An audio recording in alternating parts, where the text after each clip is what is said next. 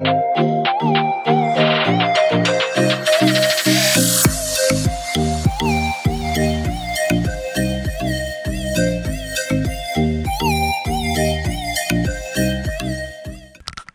to go a walk around of the uh, Flyer Explorer.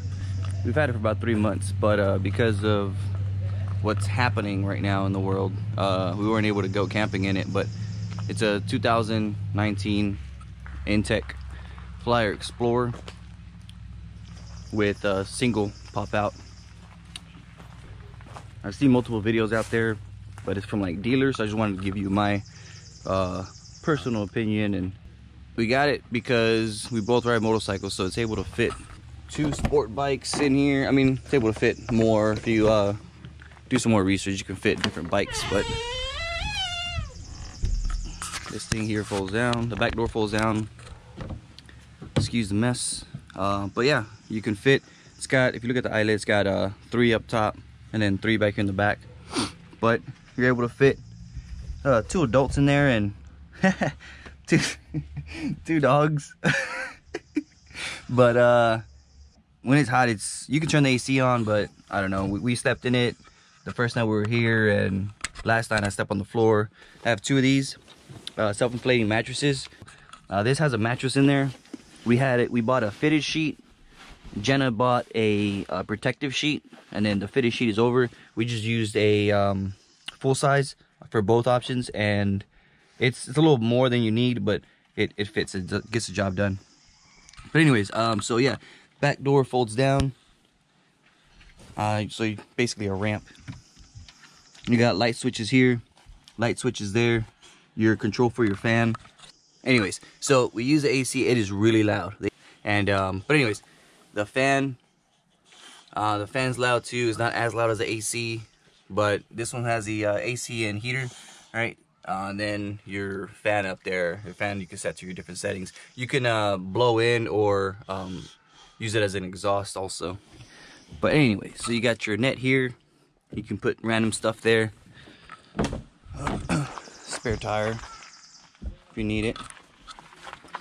This is your other entry, your door entry. If you get the single, you got one and then door entry. If you get a double pop out, obviously you don't have this window here and you have the double doors and then no entry door here. But this window here slides open and then storage up here with lights, your radio which you can connect to your uh, Bluetooth or via Bluetooth to your phone and then fire extinguisher. This netting here we use for mainly dog stuff.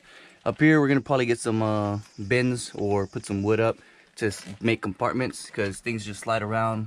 We have a lot of stuff there. We bought, we brought more things than we actually needed, uh, just because it was our first time being using the Explorer and uh, our third time camping, so we weren't sure what we are gonna use or we weren't gonna use. Um, and then a big counter here, which some people have put the bars that you can get for your truck bed, put them here to stop things from coming out.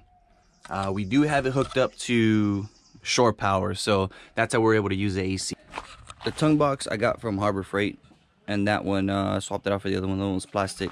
I wasn't sure that it was gonna be super reliable but this one here and I'll open it in a little bit but uh, this tongue box I got from Harbor Freight for 90 bucks I believe it was. Uh, this is useful right? Uh, it's got I use this for trash bags and then it's got a bottle opener the refrigerator. You can set your different settings. We have a lot of things in here. We got some v8 juice. We have uh, uh, burger patties that were made eggs. I have uh, hot dogs. I brought some biscuits and cinnamon rolls. This side over here i have veggies. I have all the veggies on this side but it holds a lot of stuff here. Um, this is mainly for food. I have a cooler for the uh, sodas. But the stove so it does uh it's very small and then constrictive because of this area so I use the uh but I use the fire more. I use this mainly for breakfast because it's quick and easy. The compartment here we have uh, some our buns uh, I have utensils uh, spoons and stuff I got napkins some canned food back there uh, extra plates. Here I got some bowls a one bottle propane uh, to fit into here in case I don't fit my propane bottle which I'll show you in a second of why it's not hooked up uh, and then extra utensils like uh, tongs, big spoons, another knife, and a spatula. so when I bought this, I installed the um, the propane holder that comes with the trailer here, and uh, when I reached over, I didn't actually hook it up. I just saw that it, it would it would reach, right? So hooked it up, and guess what? It doesn't reach. So you can also hook it up here. Once you look at the schematic or the diagrams, you can find the frame of the actual trailer and uh, see where the bolt is. There's other other ways to do it also. You can have you can just put the bolts in and then have another metal um, bar on the inside to disperse the weight and still hold the propane bottle. For water, which um, you don't need, but I have is uh, I made this little contraption. Here's a, use a water pump, but uh, your water pump and then uh, your glomerular tank for your back pressure so it's not continuously running. And I have this here. Uh, I got the the seven gallon, which I got to refill. I put it in here and it sucks up the water, comes back down. And then here's the uh, exhaust. So I hook up, I got a quick, quick disconnect on that, which here's my hose for it. Just hook it up to here. And then once I, I install the switch also, water on the go. So yeah, and that I just use the Apache 3800, again from Harbor Freight. The trailer did come with the Batwing awning, which comes out, covers a good portion. Comes all the way around, covers a lot. If you don't pay attention to it, um, let me climb up here. You gotta be careful when you deploy this, because if not, you'll snap one of these. Snap from this thing here, and I guess they're made to do that. It comes with two extra ones, but uh, that's a hassle, so now I just gotta replace it. Just removing this bolt, or removing this nut, and then sliding this bolt out, sliding this thing out, and putting the new one in. But other than that, it's a functional awning. Come Storm. If you want antenna, if you want solar, um, there's a Zamp connector. I got the Renogy, uh, the Renogy 100 watt kit or suitcase, and then I bought um, cables to basically extend it. A lot of people are saying that uh, that you have to swap them out, but the connector that came with it, uh, I guess it was it was connected the right way because here I looked to see to make sure, and they're connected negative and positive the right way, so I didn't have to reverse them. But some people say they had to buy the a reversing connector. So yeah, are we happy with the Explorer? Do we like it? Yeah, love it. Uh, it's functional we bought this the explorer itself specifically because we're able to hook up the shore power um, when we take the dogs also that was a big thing is trying to take the dogs and the motorcycle so here we can get to the campsite hook up shore power uh, turn on the AC if it's hot heater if it's cold and then go for you know 30 minute 45 minute ride explore explore the area wherever we are and then come back and the dogs are fine uh, that was our biggest thing is motorcycles and then being able to uh, ensure the dogs have uh, air, uh, be it AC, just a fan, or heater. Uh, so that's that was the two selling points for this specific uh, camper. Also, the only thing that I don't like about it is the fact that those uh, swivel joints on the awning for the awning uh, can snap.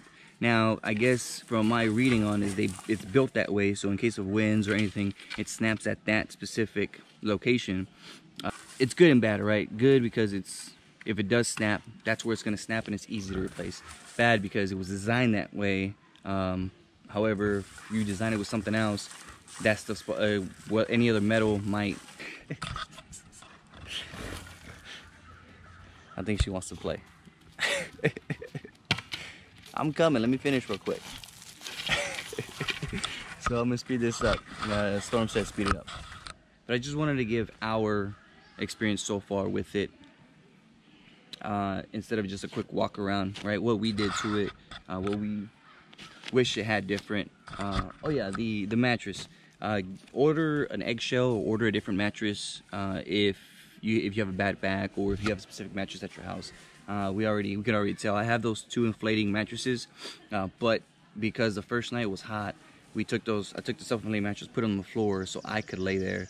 Uh, and then Jenna slept in just a mattress alone last night, and she said she definitely needs a new mattress or eggshell. She said that that mattress there isn't going to work for us. I think the, the last thing I'll add is um, miles per gallon. I have a 2019 Ram 1500, and it gets about depending on how long I'm going.